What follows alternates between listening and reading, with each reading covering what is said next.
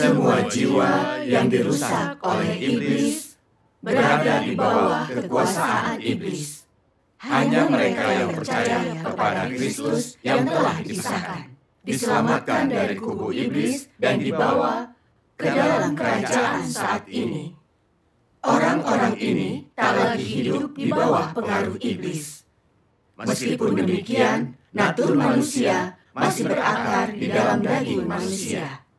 Yang berarti, meskipun jiwamu telah diselamatkan, naturmu tetaplah seperti naturmu sebelumnya. Dan kemungkinan engkau semua akan mengkhianatiku masih 100%. Itulah sebabnya pekerjaanku berlangsung begitu lama, karena naturmu terlalu sulit diubah. Sekarang ini, engkau semua sedang menjalani kesukaran seraya memenuhi tugas. Tetapi setiap orang di antara engkau berkemampuan untuk mengkhianati aku dan kembali ke wilayah kekuasaan iblis. Ke kubunya dan ke kehidupan lamamu, ini fakta yang tak dapat disangka. Pada saat itu tak akan mungkin bagimu memperlihatkan sedikit pun kemanusiaan atau keserupaan dengan manusia seperti sekarang. Dalam kasus serius, engkau akan dihancurkan, bahkan engkau akan dibinasakan selamanya. Dihukum dengan keras, tidak akan bereinkarnasi. Inilah masalah yang ada di hadapanmu. Amin. Dulu aku berpikir, sudah lama aku percaya padanya. Aku mampu tinggalkan segalanya. Demi Tuhan dan demi tugasku. Dan aku tidak takut menghadapi penindasan PKT. Jadi aku merasa setia pada Tuhan. Dan takkan mengkhianatinya. Sesuatu yang tidak pernah kubayangkan adalah ketika aku ditangkap dan disiksa oleh polisi PKT. Aku bisa kehilangan martabat dan menyerah pada iblis. Naturku yang mengkhianati Tuhan sepenuhnya tersingkap. Mengingat kekalahan yang mengerikan itu, rasanya sangat menyakitkan. Itu akan menjadi penyesalan seumur hidup. Saat itu, tahun 2008, ketika PKT memulai kembali penindasan dan penangkapan berskala besar terhadap orang-orang Kristen. Aku ingat suatu hari pada bulan Agustus, aku diberitahu banyak pemimpin gereja dan saudara-saudari telah ditangkap. Aku hubungi beberapa saudara-saudari untuk menangani dampaknya dan memindahkan aset gereja. Butuh dua minggu lebih untuk menyelesaikan semua urusan gereja. Pada saat itu, aku merasa bangga. Aku berpikir, saat PKT gila-gilaan menangkap orang, aku berani menghadapi mereka menjunjung pekerjaan gereja bahwa aku paling memikirkan kehendaknya dan paling setia. Ketika aku dengar Beberapa yang ditangkap jadi seperti Yudas, mengkhianati Tuhan dan juga saudara-saudari. Aku sangat memandang rendah orang-orang itu. Dan aku diam-diam bertekad. Bila saatnya tiba, aku juga tertangkap. Aku lebih baik mati daripada menjadi Yudas. Kupikir, aku memiliki iman yang besar. Tepat setelah tahun baru, tahun 2009 di luar dugaanku. PKT kembali memulai operasi penangkapan yang disebut Guntur Tiga yang menargetkan gereja Tuhan yang Maha Kuasa. Suatu hari saat aku ikut pertemuan dengan saudara-saudari, lebih dari 30 polisi tiba-tiba masuk. Kami dibawa ke kantor polisi dan dipisahkan untuk diinterogasi. Mereka menuntut untuk mengetahui dua hal, nama dan alamat pemimpin dan rekan sekerja. Dan berapa uang yang dimiliki gereja disembunyikan di mana. Mereka berkata dengan nada mengancam, jika tak mau bicara, kau akan mati. Pada saat itu, aku tidak terlalu takut. Aku merasa aku telah banyak menderita sejak kecil. Jadi meskipun mereka menyiksaku, aku akan mampu menanggungnya. Aku sudah lakukan tugasku dan setia pada Tuhan, dia pasti akan melindungiku. Ketika melihatku tidak mau bicara, polisi memperlihatkan rekaman CCTV dan foto-fotoku saat keluar masuk tempat tuan rumahku. Dan mencatat semua tempat yang pernah kukunjungi beberapa bulan terakhir, lalu menyuruhku mengaku. Melihat bukti sekuat itu, aku jadi merasa khawatir. Meskipun aku menyangkalnya, mereka tetap tak akan percaya. Jadi aku berdoa dan memohon kepadanya agar aku tidak menjadi Yudas Melihatku tetap bungkam, seorang petugas marah dan berkata, Sepertinya kau memaksa kami bersikap kasar sambil mendorong kursi besi tempatku diikat dan mendongakkan kepalaku.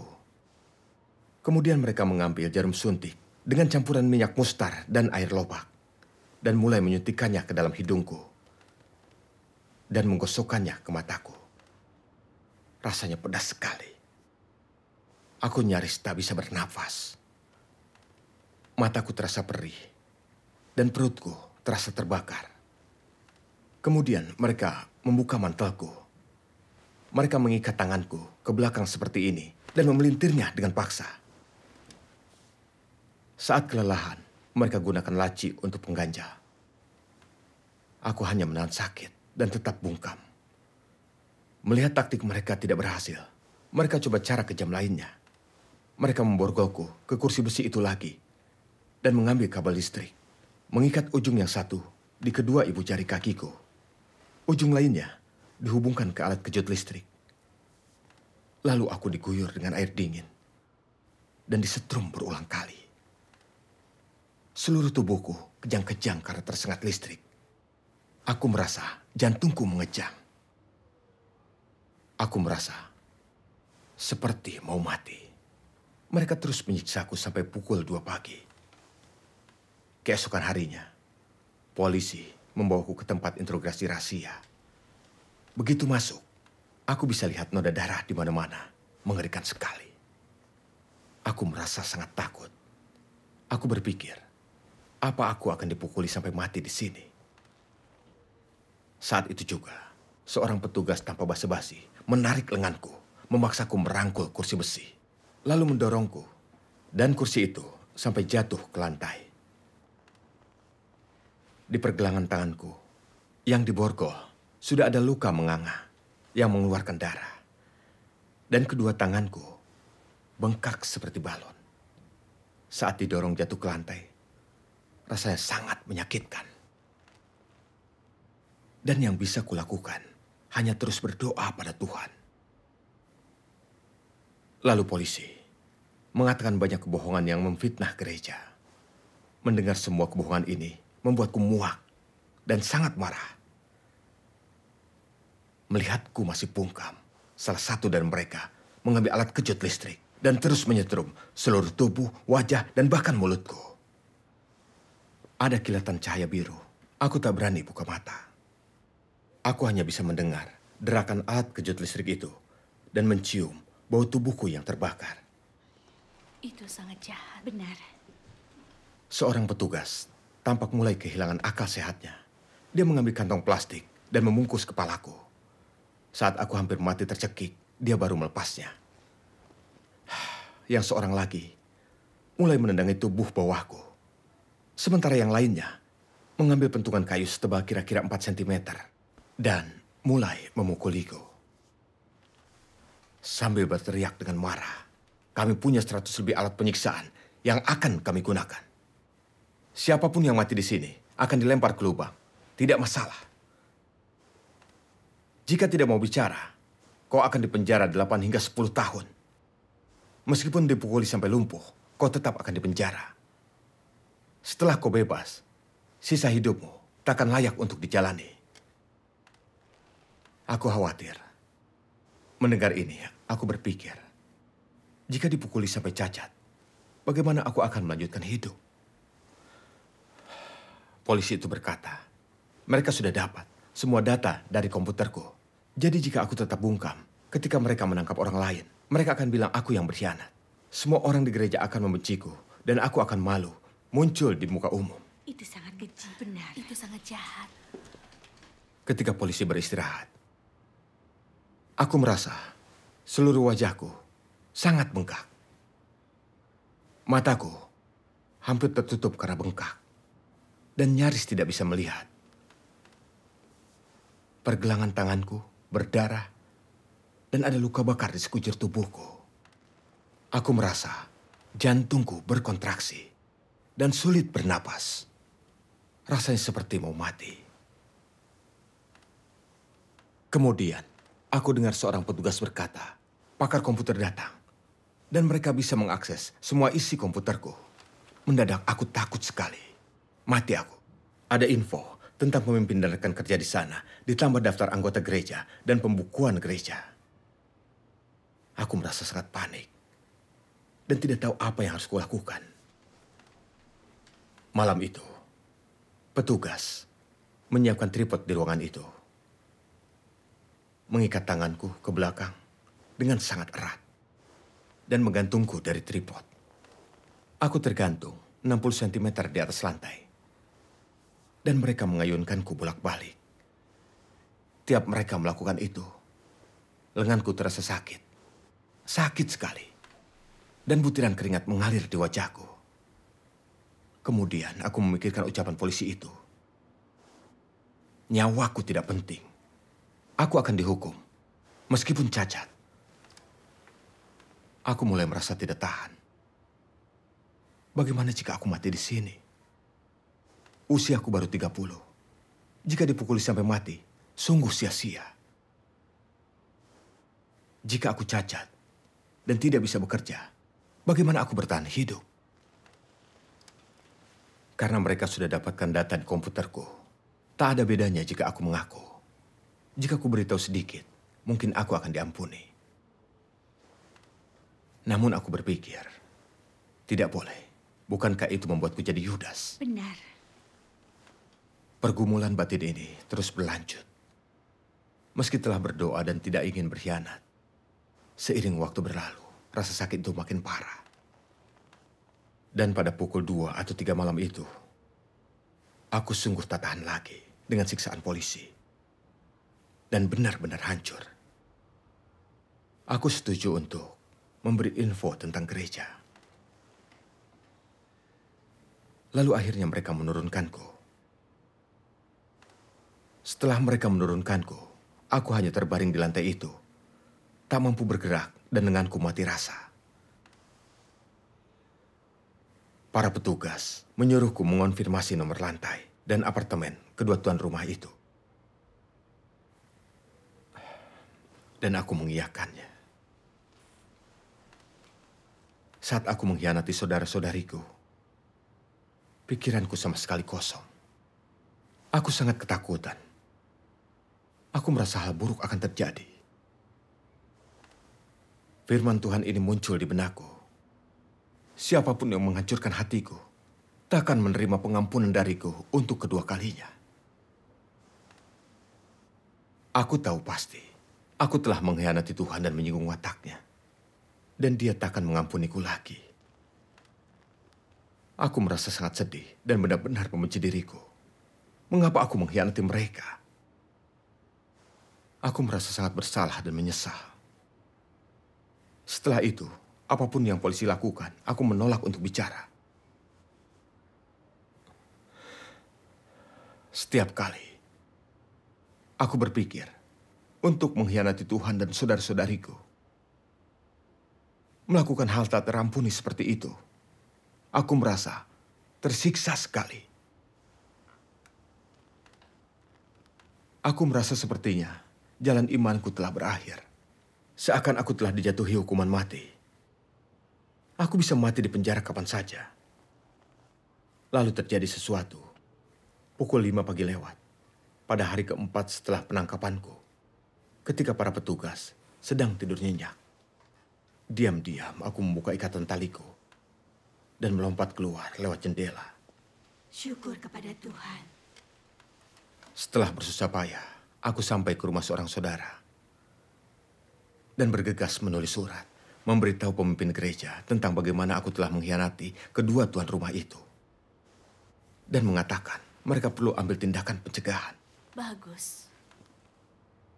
Lalu pemimpin mengatur agar aku ditampung di tempat aman. Aku merasa tak enak saat melihat jemaat gereja lainnya bersedia mengambil resiko untuk menampungku.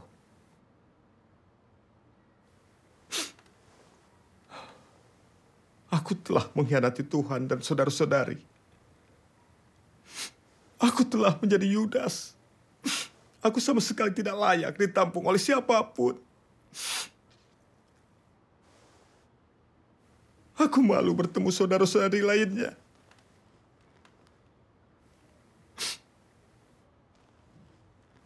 Aku membaca firman Tuhan ini.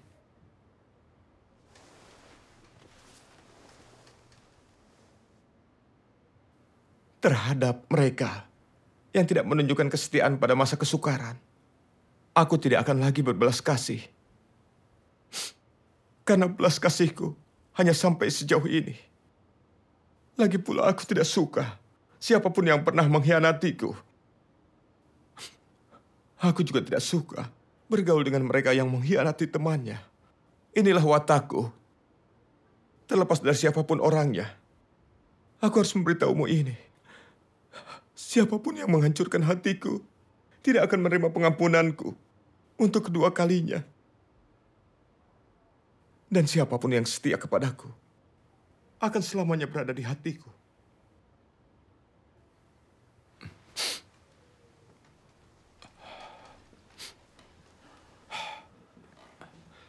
Kata-kata ini begitu dalam mempengaruhiku. Setiap kata terasa begitu menyakitkan. Akulah yang tidak setia kepada Tuhan dalam kesengsaraan. Akulah yang mengkhianati Tuhan dan teman-temanku. Yang mengecewakan Tuhan adalah aku. Aku mengkhianati Tuhan dan saudara-saudariku. Aku pengecut dan menyinggung watak Tuhan. Aku tidak akan pernah diampuni. Pasti dihukum olehnya. Semakin aku pikirkan, aku semakin sedih. Dan tidak mampu menahan air mata. Beberapa hari kemudian, aku dengar seorang saudari di salah satu rumah telah ditangkap. Dan rumahnya digeledah.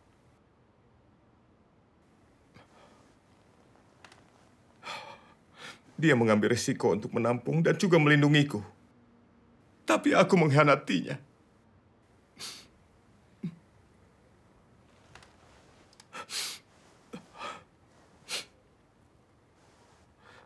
Aku tahu kekejaman PKT kepada orang-orang Kristen. Karena aku telah mengalaminya sendiri. Tapi demi menyelamatkan diri, telah kuserahkan dia ke tangan setan. Sungguh perbuatan yang jahat. Aku menampar wajahku dengan keras beberapa kali. Dan bersujud di hadapan Tuhan dalam doa. Ya Tuhan, aku telah mengkhianatimu dan juga saudara-saudariku. Aku bukan manusia. Aku tidak pantas untuk hidup. Aku harus dikutuk dan juga dihukum. Bahkan kematianku menjadi keadilanmu.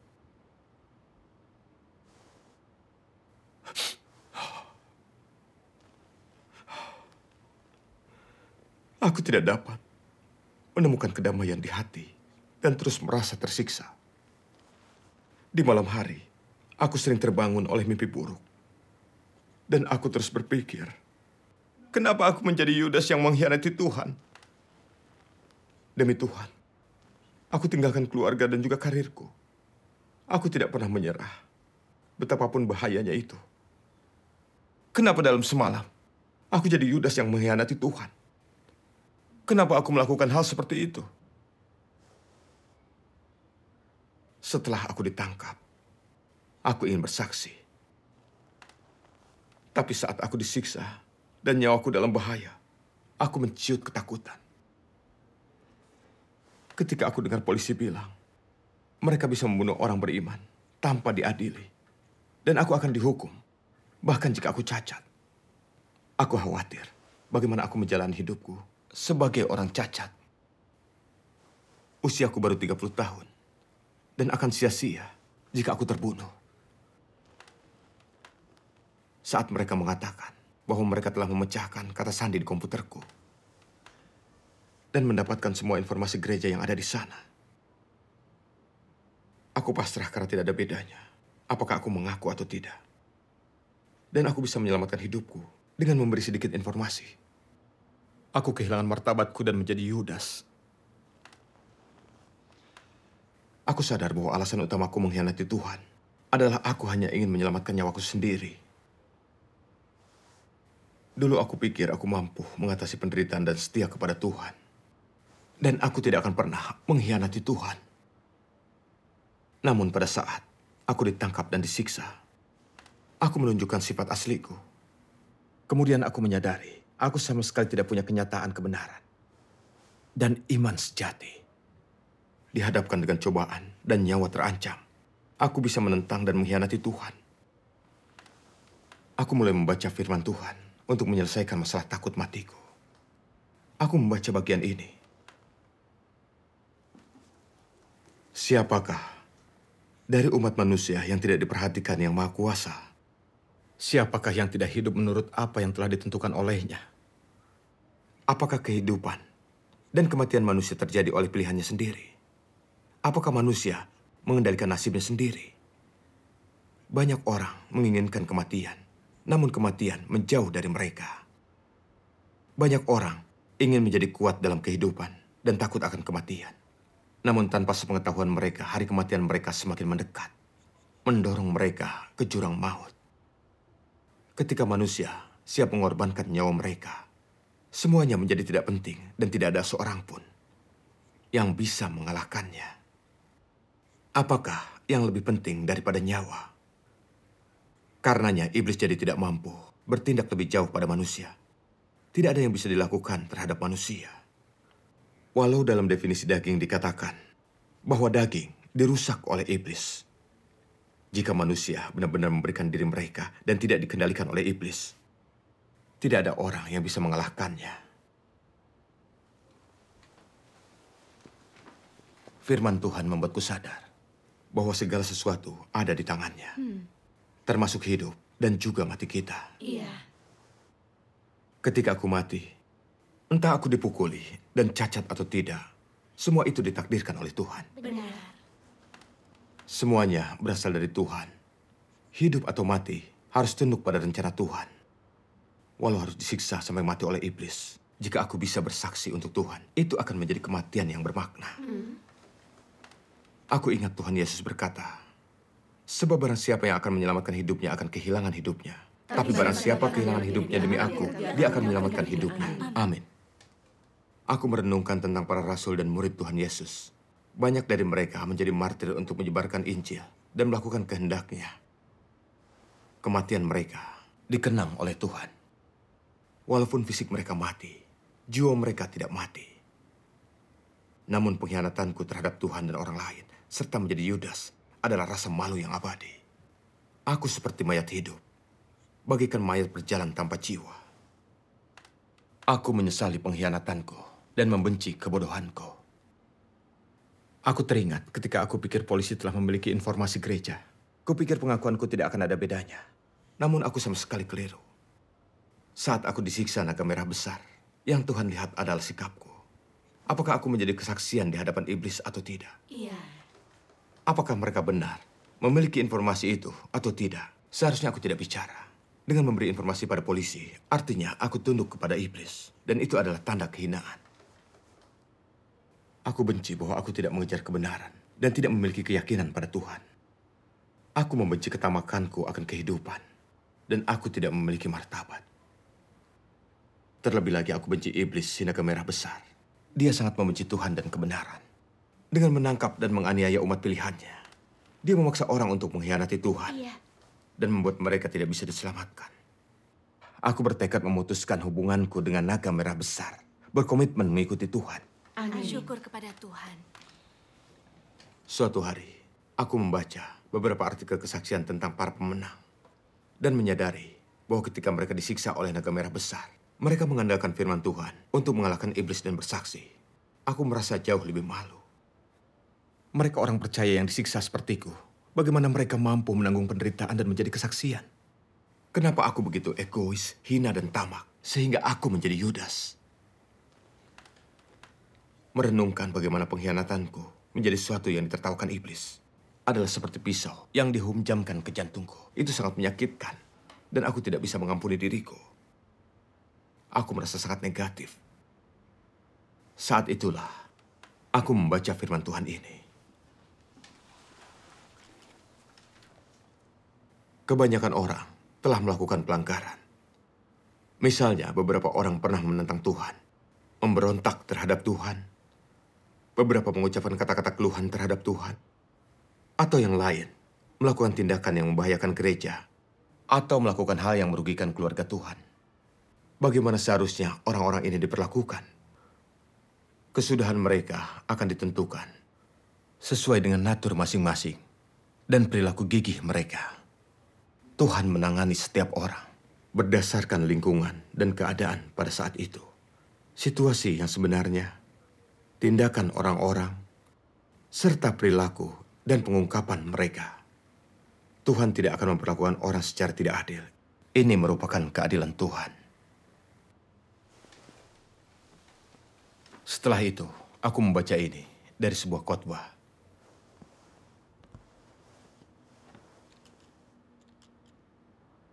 Ada beberapa orang yang karena kelemahannya berkhianat sedikit setelah ditangkap. Namun mereka tidak melayani iblis dan di dalam hati mereka tetap percaya dan tetap berdoa kepada Tuhan.